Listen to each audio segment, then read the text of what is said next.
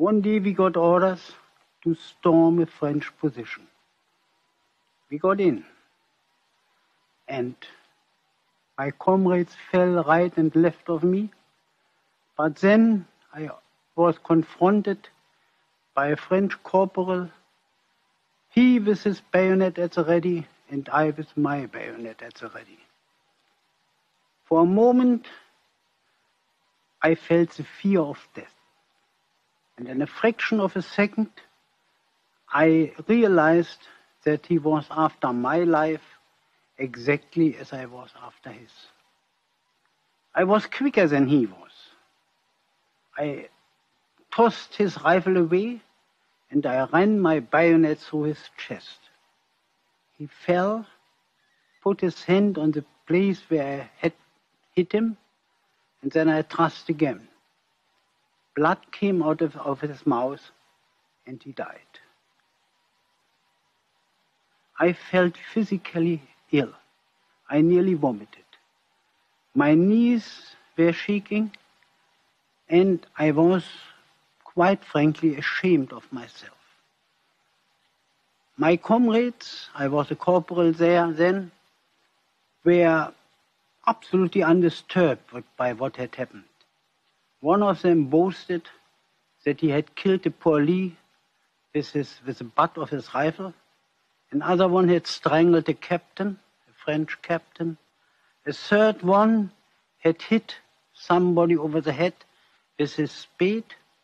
And they were ordinary men like me. One of them was a tram conductor, another one a commercial traveler. Two were students, the rest were farm workers, ordinary people who never would have thought to do any harm to anyone. How did it come about that they were so cruel? I remembered then that we were told that the good soldier kills without thinking of his adversary as a human being. The very moment he sees in him a fellow man, he is not a good soldier anymore. But I had in front of me the dead man, the dead French soldier, and how would I like him to have raised his hand? I would have shaken his hand and we would have been the best of friends. Because he was nothing like me but a poor boy who had to fight, who had to go in with the most cruel weapons against the man who had nothing against him personally, who only wore the uniform of another nation, who spoke another language, but a man who had father and mother and a family perhaps. And so I felt.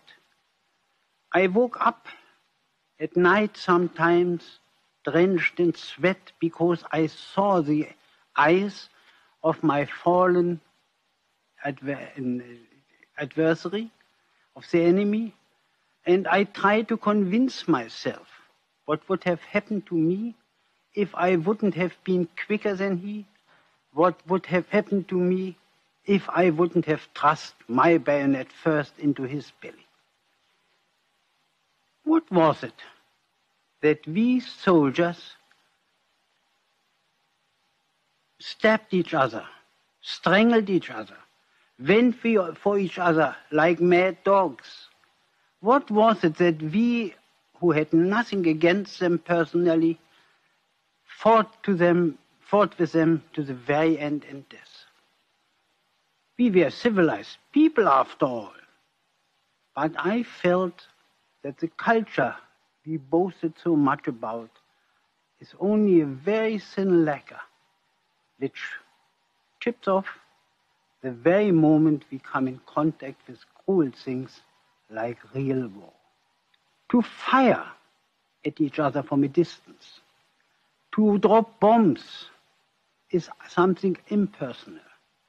But to see each other's white in the eyes and then to run with a bayonet against a man, that was against my conception and against my inner feeling. Anything else? That's beautiful. Cut.